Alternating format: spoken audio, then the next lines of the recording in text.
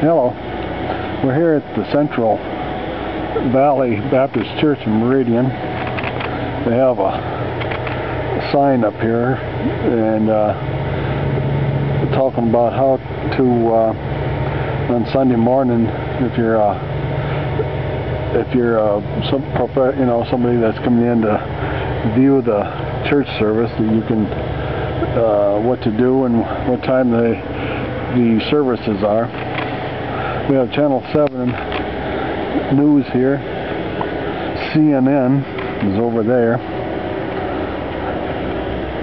And uh, let's park right here in the parking lot.